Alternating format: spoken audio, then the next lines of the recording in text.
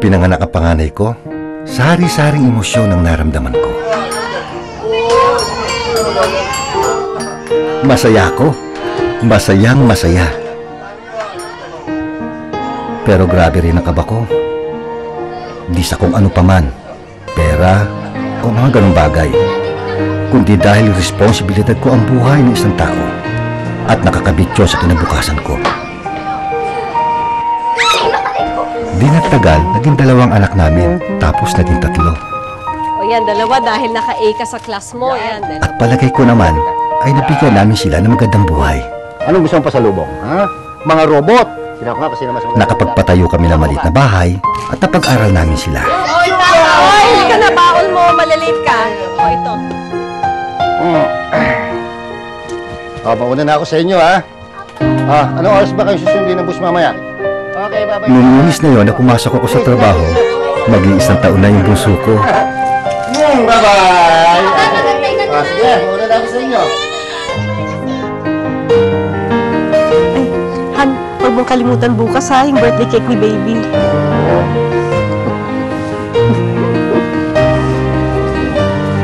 Napakaayos na takbo ng buhay namin. Bago nangyari yung aksidente.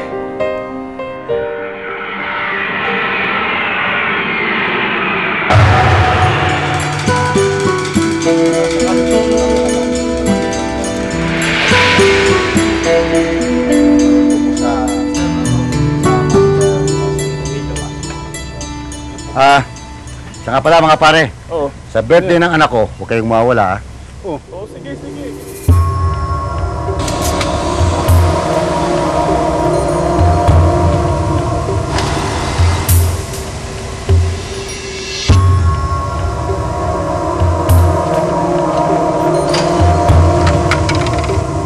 Sir!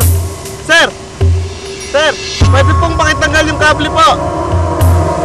Pakitanggal po yung kable. Apo, salamat po.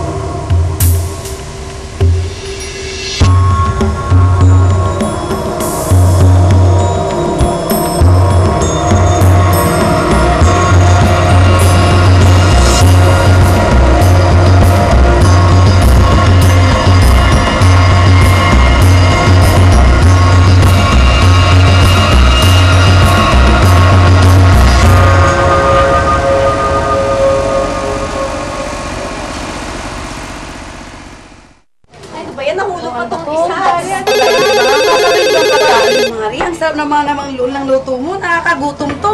Mami, mami, lobo ko pumutok. Pwede kong palitan dyan. Oo, teka lang ha. Mami, lobo yung telepono. ko. Sandali lang. Sandali. Lobo ko. Hello?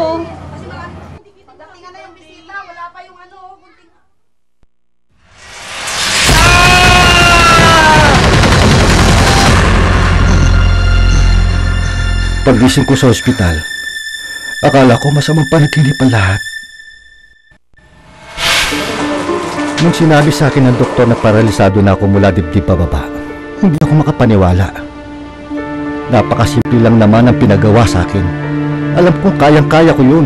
Nagawa ko na yun noon eh. Tapos kayong sasabihin nila sa akin eh hindi ko na maigagalaw ang mga binti ko. Wala na pakiramdam mga kamay ko. Para na rin lang sinabing tapos na ang buhay ko.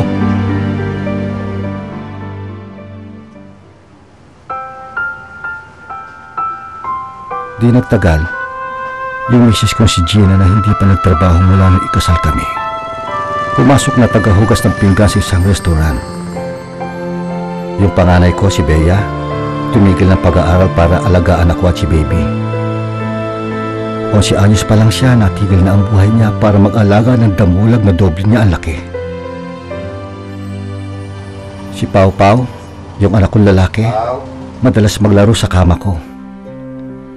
Minsan, umuwi siyang galing eskwela umiiyak. Nakapila raw sila sa ibabaw ng slide. Tapos inaway siya ng isang bata siga at itinulak siya. Muntik na siyang mahulog. Ang galit ko. Galit na galit ako. Kung pwede lang ibalik ang oras. Kung nag-ingat lang sana ako at gumamit ng harness. Kahit sandali. Hindi sana ito nangyari. Pasensya na ho. Di ko, talaga akalaing may mangyayari.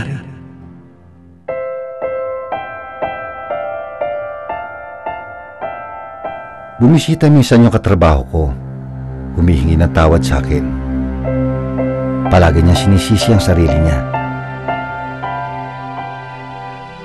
Biniro ko na lang at sinabi ko na wag na siya mag-alala. Gagaling din ako at babalik ulit ako sa trabaho. At pagtatawanan na lang namin ang lahat ng ito.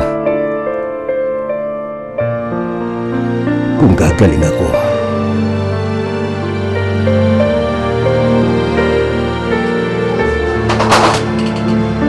Ano ba yan?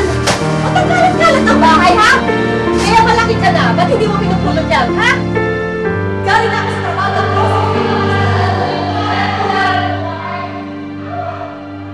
para akong tangang umaasa. Wala naman akong igagaling pa. Gusto ko nang umalis at pumunta sa lugar na hindi nila ako mahahanap. Makakapag-asawa na ulit si Gina. Makakapag-aral na ulit si Bea. May magtuturo na kay Papa na magpalipad na sa Ragola. At ang puso ko, si Maya, lalaki ng may ama. Isang ama na malakas na makakabuhat sa kanya at makikipaglaro sa kanya. At ako, pwede na ako manatili sa mga panaginip ko. Kung saan nakakalakad ako buong araw, nakakakain mag-isa, at nakagagawa ng mga bagay na nagagawa ko noong maayos pa kalagayan ko at makakaahon na rin ang pamilya ko sa hirap na naitulog ko sa kanila.